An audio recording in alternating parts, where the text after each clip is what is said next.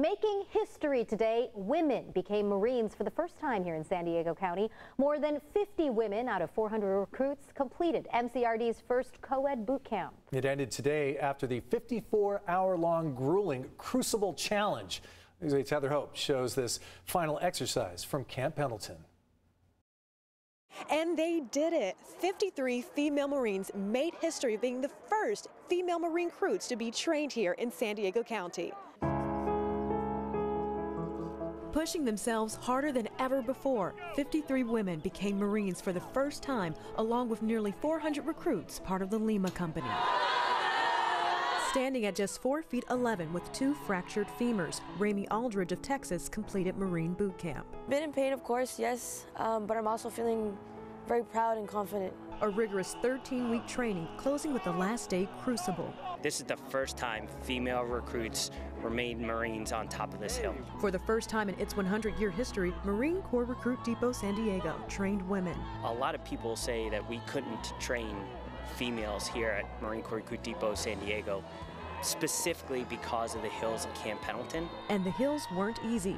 It was really hard, really made me feel the burn in my legs. I refused on that part and I made it up that Reaper today. 19-year-old Poway native Ann Margaret Frazier followed in her Marine father's footsteps and is grateful she got to train for the first time ever in her hometown. I was expecting to go to Parris Island, but when I was told I was going to San Diego and I would be making history, it's something like, I couldn't pass up. Going 54 hours straight with only three meals in that time, carrying 55-pound bags, these Marines were motivated to finish. In a few short moments, you will be forever transformed getting to a momentous point going from civilian to Marine. They received their Eagle Globe and Anchor, which is the coveted symbol uh, of the United States Marine Corps. The symbol brought tears to many Marines' eyes. The group joined together in song.